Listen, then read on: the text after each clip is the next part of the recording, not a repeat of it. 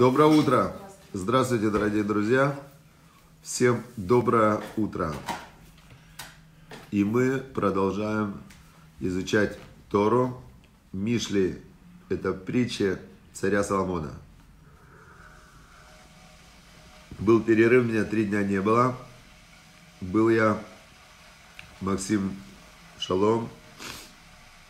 Бодертов был я в Москве. Проводил я в Москве тренинг «Профессиональный оратор». Обучал людей, как, как выступать. Как выступать публично. Яков Шатадин, шалом. Так. Хорошо. Если, кстати, Хорошо, все, двигаемся дальше. Итак, значит, мы находимся на восьмой главе. Восьмая глава, в конце уже, по-моему, мы закончили в прошлый раз э, на 28 отрывке. То есть идет перечисление с 20, э, с 20, э, сейчас, с 22 отрывка и вот до 28 мы дошли, когда говорится Тора, как бы она то есть царь Соломон объясняет, что такое Тора, и объясняет важность Торы, и объясняет, что Тора это как, э, как э, чертеж, не чертеж. Э, вот, например, вот, например, вот я говорю слова, вот, например. Что это такое слова «вот, например»? Это, это некие звуки, которые у каждого в голове превращаются в понятные какие-то символы. Вот, например – Теперь Тора – это та мысль, та идея, та исходящая некая информация, которая исходит от Бога, от Создателя мироздания, которая превращается потом в мироздание. Понятно? То есть Тора это не просто разговоры, рассказы и так далее. То есть Тора это то, что исходит от Бога, и то, что и то, что потом превращается в мироздание.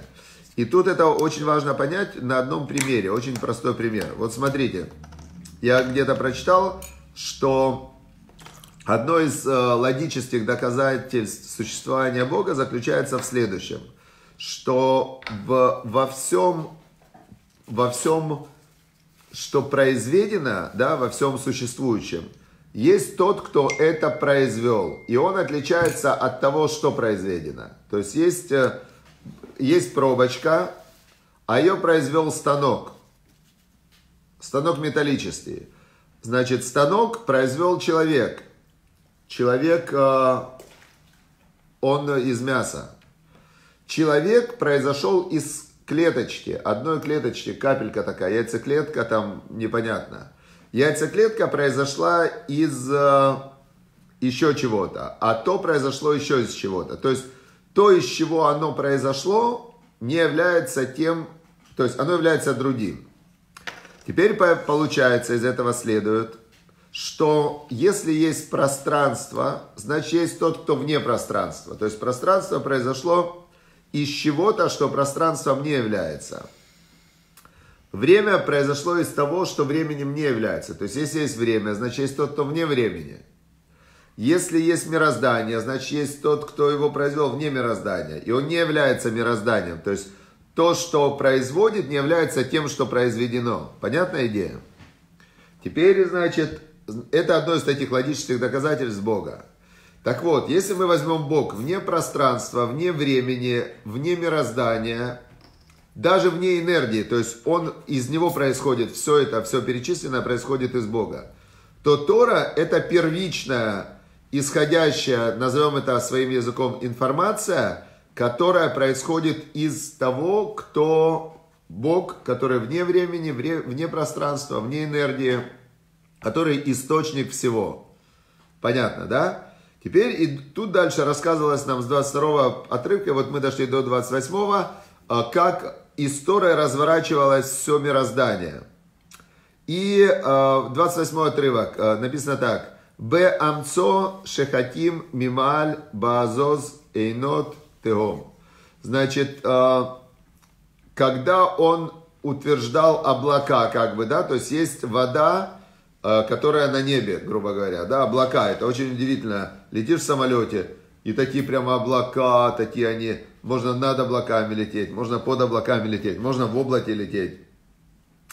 А есть та же самая вода, только она на земле, а есть та же самая вода, только она под землей. И там, говорят, под землей целый мировой еще один океан под землей. То есть есть мировой океан, который на земле, а есть мировой океан, который на глубине, под землей. То, что называется в безднах.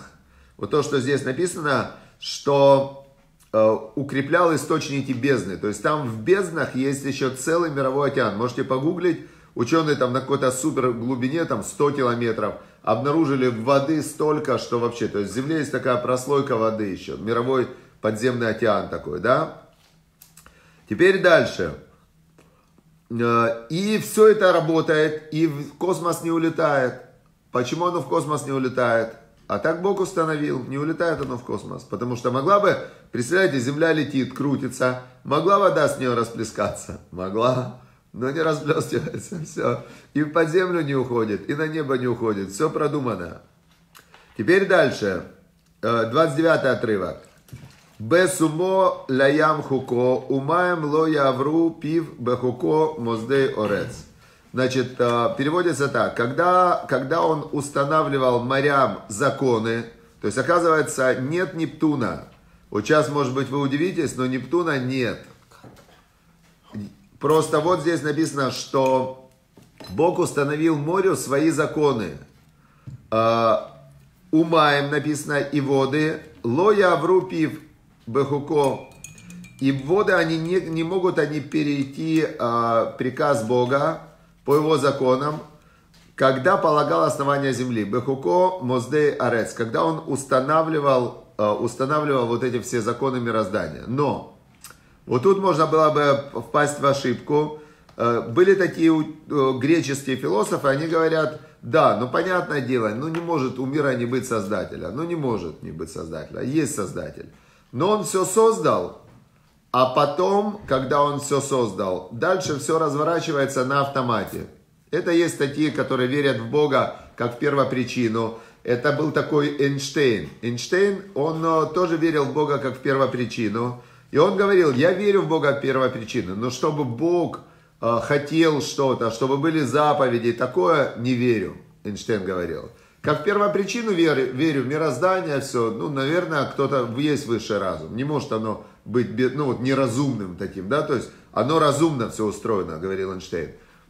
А вот что он влазит, не верю. А мы знаем, что да. Откуда мы знаем? Есть книга Йоны. Книга Йоны, очень известная книга, в которой пророк Йона получил приказ от Бога, чтобы он шел в город Нинвы, сказать городу Нинвы, что все, грехи города Нинвы накопились, и если они не, а, не уйдут от своих грехов, то есть если они не вернутся к законам Бога, как что такое добро, что такое зло, то Бог будет вынужден город Нинвы разрушить. И послал он пророка Йону для того, чтобы пророк Йона это сказал.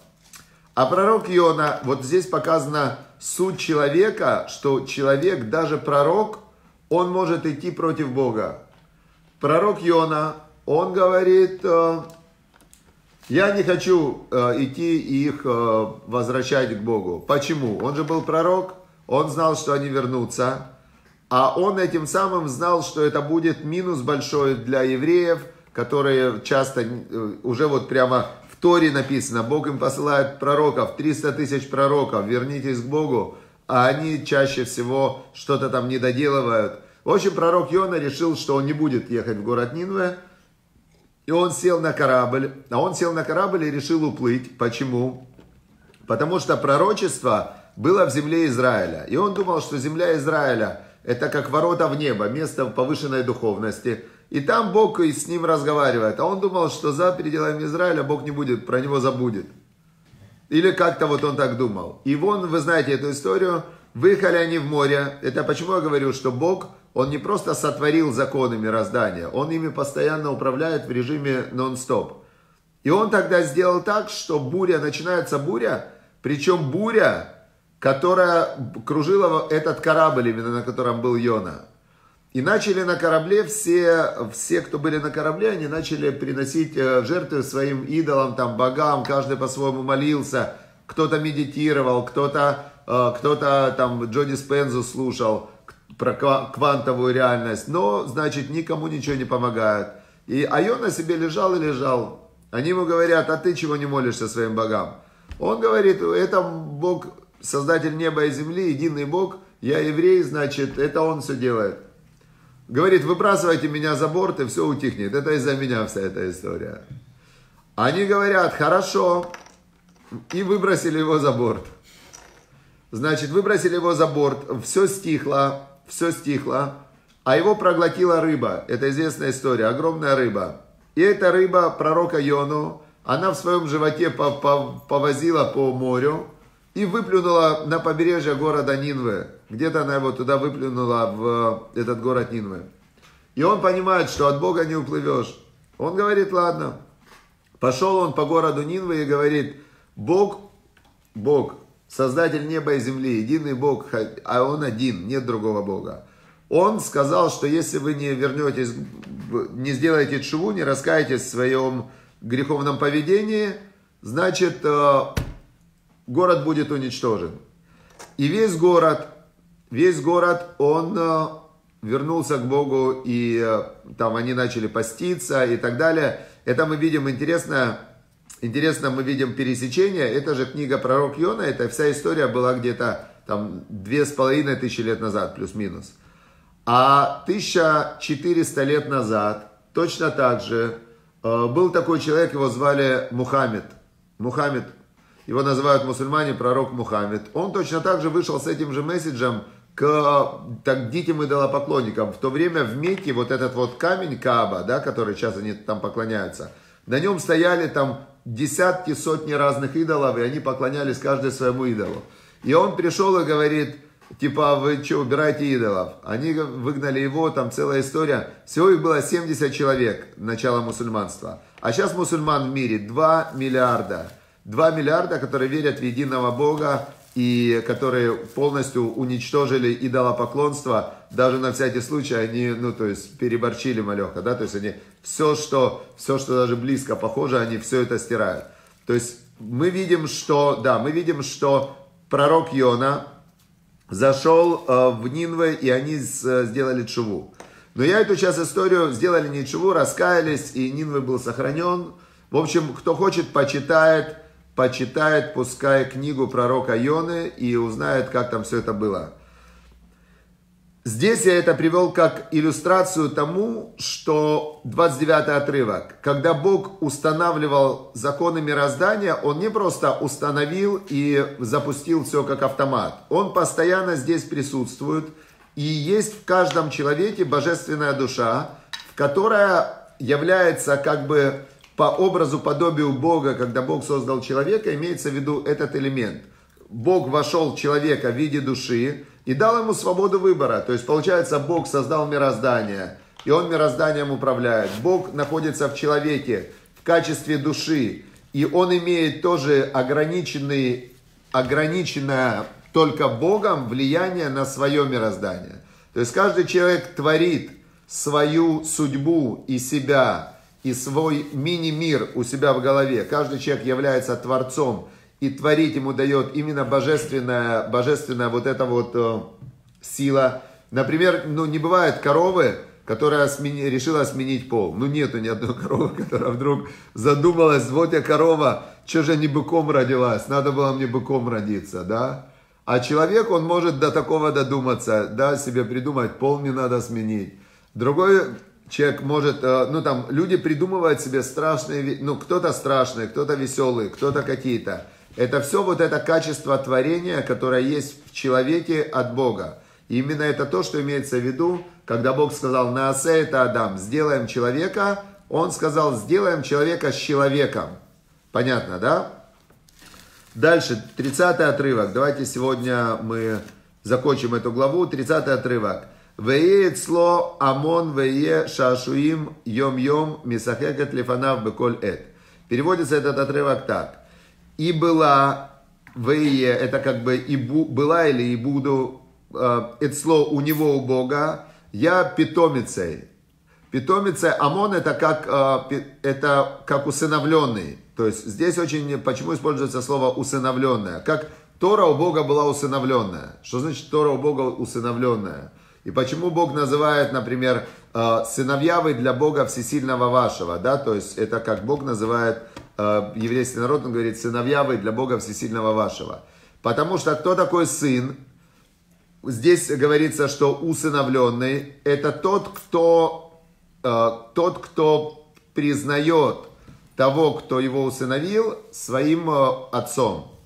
То есть, когда ты признаешь Тору, и ты говоришь, принимаешь его, говоришь, вот есть Бог, вот есть Тора, и я слушаюсь Бога, то это как будто бы Бог тебя усыновил. Потому что у Бога же не может быть детей, как, ну, как в физическом плане. Понятно, да?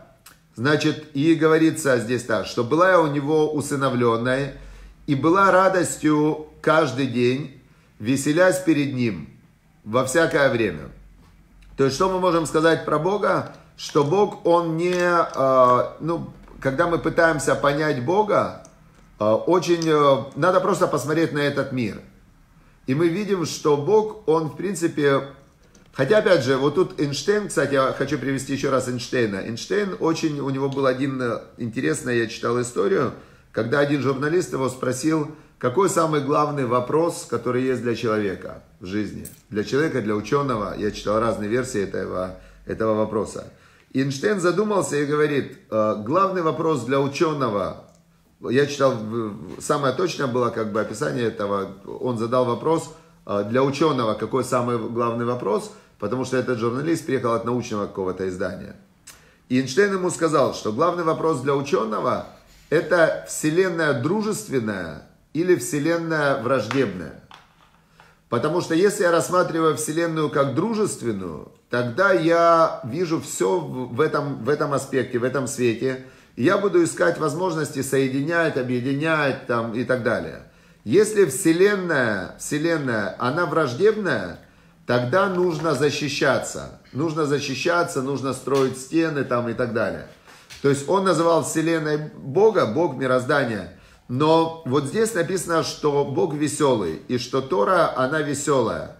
И что в Торе, кстати, написано, за что придут на еврейский народ наказания. За то, что Ашерло Авата не на народ, а на каждого. Тут написано в единственном числе. Написано так. Ашерло Авата это Шем Элокеха Басимхат Лев Увбетув Аколь. За то, что ты не служил Богу Всесильному твоему, Басимхат лев с радостью в сердце, у быту ваколь, и когда у тебя было все хорошо. То есть э, просто соблюдать заповеди недостаточно, а надо служить в радости и ценить. Вот обычно человек, он обращается к Богу, когда плохо, он сразу, Господи, помоги, пожалуйста, там бежит, молится, все делает. А когда все хорошо, эх, э, есть известная история, как один был э, человек такой, сидит бедный, у него ничего нету, такой прям бездомный, и его встречает э, его знакомый, ему говорит, слушай, говорит, у тебя такая тяжелая жизнь, давай, говорит, тебя возьму к себе на работу. А он, значит, э, знал, что по Торе помогать лучше всего дать работу. И он ему говорит, слушай, я тебе дам такую работу, ты едешь вот в то место, забираешь деньги, привозишь и часть денег забираешь себе. Тот берет, э, начал у него работать, привозит, э, деньги перевозит с одного места на другое, часть забирает себе, проходит э, год, он уже сидит, у него квартира, жена, он пьет дорогой там виски, выпивает стакан, говорит, ну почему в жизни такая несправедливость? А жена говорит, в смысле? Он говорит, ну что ему его часть отдаю? Тот, который возил. То человеку свойственно не ценить то, что у него есть. Особенно а, особенно, ну вот это свойственно. Поэтому, значит, здесь нам как раз на это тоже идет э, намек в 30-м отрывке, что Бог создал Тору, чтобы была у него усыновленной и была радостью каждый день, веселясь перед ним все время. 31 отрывок. Мисахекет бетевель арцо вышашу ай эдбне адам. И она веселится на земле, то есть все мироздание создано по Торе, все мироздание создано по Торе, и а, она соединяет Бога с Бнеадам, с сыновьями человеческими. То есть, какая у тебя есть интерфейс общаться с Богом. То есть, Если человеку, вот представьте, забери у человека все слова и все понимания, Бог, мироздание, человека все эти слова. Если ты заберешь все вот эти слова, то не останется ничего, что связывает тебя с Богом. Поэтому Тора это то, что соединяет э, Бога с сынами человеческими. 32 отрывок. В Атабаним Шимули, говорит царь Соломон э, от имени Торы, от имени Бога, то есть так как это все соединяется в одно целое, и он говорит, и теперь Баним, теперь сыновья, Шимули, послушайте меня, он говорит, послушайте меня. В Ашры Драхай Ишмеру. И счастлив, он говорит, тот, кто пути мои сохраняет. Вот э, я на этом не, не успели, мы еще осталось два еще даже четыре отрывка, в следующий, завтра закончим. Вот этот отрывок я хочу, вот прям сегодня утром, он мне очень сильно помог. В Атабаним, и теперь сыновья, Шимули, послушайте меня, в Ашры и счастлив пути мои, которые сохраняет. У каждого человека есть некая картина мира, которую он держит у себя в голове. Свои цели, свои планы, отношения с другими людьми, какие-то старые события, которые уже были, но они постоянно догоняют человека в его сегодняшней реальности. Человек постоянно вспоминает э, то, что было с ним. Вот мы с женой выходим, например, из э, дома и идем, и место, где она упала, споткнулась, ногу сломала, я сразу в этом месте вспоминаю вот этот момент. То есть, и мне сразу, ну, тогда я сильно переживал, и мне сейчас становится плохо. Я просто отследил это как бы эмоционально. То есть у человека голова это э, набор, набор постоянно, как калейдоскоп такой, постоянно меняющихся каких-то раскадровок, которые, э, если особенно человек в каком-то стрессе, а что такое он в стрессе? У него есть несколько каких-то мыслей или идей, которые его или пугают, или тревожат, или он э, там боится чего-то или волнуется о чем-то. Это создает в мозге, создает стресс, и у него эти раскадровки, они, э, ну, скажем так, такой окраски, э, тревожной окраски. Так теперь, когда как раз утром молишься, есть время, когда ты молишься, ты это все каждое утро выстраиваешь, как оно должно быть выстроено. Есть личные просьбы к Богу, когда ты выстраиваешь тоже свои приоритеты. Что такое личные просьбы к Богу?